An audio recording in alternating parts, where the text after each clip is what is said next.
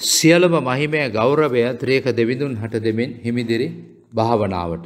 Solar impulse නම් සූර්ය බල ගුවන් යානාවන් වලට දිවාරාත්‍රි දෙකේදීම ඉන්ධන නැතිව පියාසර කිරීමේ හැකියාව තිබෙනවා. මෙහෙම කියන්නේ මේ නිර්මාණය කරපු බර්ට්‍රන් පිකාඩ් හා ඇන්ඩ්‍රේ බෝෂ්බර්ග් කියන දෙදෙනා. ඔවුන් ලොවටා මේ පියාසර කරවීමට මිට අවුරුදු පහකට කලින්ම එකන් දෙදස් පහළවෙදි ඔවුන්ගේ උත්සාහය වී තිබුණා. මේ ගුවන් යානාව දවල් කාලයේදී සූර්ය බලයෙන් ගමන් කරනවා එවගේ රාත්‍රිය පුරාම මොනාද වෙන්නේ. රාත්‍රය පුරාම ගමන් කරට අවශ්‍ය කරන බලය ගබඩා කරගන්නවා. එවගේ පිකාඩ් කියන කෙනා කියනවා ඊළඟ දවසේ උදෑසන හිරු උදාවීගෙන එනකොට පාට ඉදිරියට යන්න පුළුවන්. බලාපොරොත්තුව කොන්න ලැබෙමින් තියෙනවයි කියලා ගුවන් යානාවට නිකන් සංඥාවක් වගේ කතා කරලා කියන අදහසක් ඉස්මතු කරනවා. ඒක ඔවුන්ගේ සංකල්ප. හැබැයි මේ දේ තුලින් අපේ ජීවිතවලට දෙන පණිවිඩය අපි උරාගත යුතු කාරණාව මලාකි හතරවෙනි පරිච්ඡේදේ දෙවෙනි පදේ නොමුත් මාගේ නාමය කෙරේ බය ඇත්තාව නුඹලාට ධර්මිෂ්ඨකමේ සූර්යා සුවකීය පියාපත්වල සුවකිරීම ඇතුව උදාවන්නේ. නුඹලා නික්ම ගොස් ගාලේ වස්සන් මෙන් පනිනහුය. හිරු උදාවීගෙන එනකොට සෝලා ඉම්පල්ස් ගුවන් යානාවට අලුත් බලාපොරොත්තුවක්. ඒ සූර්ය බලය වැඩි වැඩි ලබා ගන්න. ඒ වගේ අපේ ජීවිතවලට ධර්මිෂ්ඨක මේ සූර්යා ඒසු ක්‍රිස්තුස් වහන්සේ බලාපොරොත්තුව ගෙන දෙන්නේ. බලන්න එක්තරා අවස්ථාවකදී ඊශ්‍රායල් ජනයා බබිලෝනිය වහල්කමට ගිහිල්ලා හිටියා.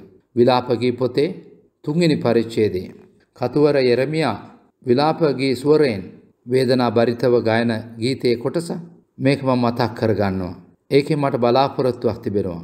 අප විනාශ වුණේ ස්වාමීන් වහන්සේ කරුණාවල් නිසා, උන්වහන්සේගේ අනුකම්පාවල් නොනවතින නිසා. ඒවා උදේන උදේ අලුත්ව තිබේ. තුන්වෙනි පරිච්ඡේදයේ 21 වෙනි පදයේ ඉඳලා 23 වෙනි කොටස දක්වා.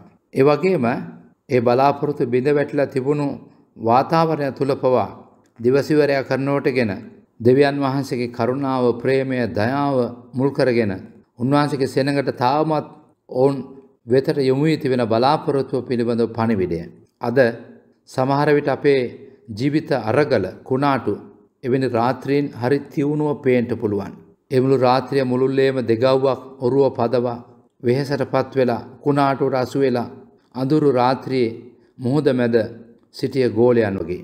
නමුත් ඒ රාත්‍රිය බියකරුව බැරෑරුවම තිබුණත් අපිව සම්පූර්ණයෙන්ම ගිලගන්නට වගේ පෙනුනත් ඒ එවන් රාත්‍රී අපේ ජීවිතයන් තුළ හැඬීම තිබුණත් ගීතාවලියේ තිහේ පහට අනුව නම් උදය පැමිණෙන්නේ ප්‍රීතිය බලාපොරොත්තුව. මේ ගමන තුළ අපට තියෙන සහනය එයයි. ඒ සහනයත් එක්කලා අපි ඇලී ගැලී බැඳි ඒ සහනය වූ යේසුස් වහන්සේ සමග එවැනි සමීපතාවයක් තුළ ගමන් කරන්නට යනවා නම් මේ ගමනේදී කුමන කුණාටු මැදින් ගියත් රාත්‍රියන් පසු කරන්නට සිද්ධ වුණත් ඒ රාත්‍රියේ හැඬීම තිබුණත් උදේ එන්නට යනවා. හිරු උදා වෙන්නට යනවා. බලාපොරොත්තුවක් ලැබෙන්නට යනවා. එය නම් යේසු ක්‍රිස්තුස් වහන්සේගේ පැමිණීම. ඒ වෙනකම් අපේ ජීවිතවල බොහෝ රාත්‍රින්ද බොහෝ උදයන්ද අපි පසු කරන්නට පුළුවන්. එවන රාත්‍රියේ හැඬීම උදය ප්‍රීතිය.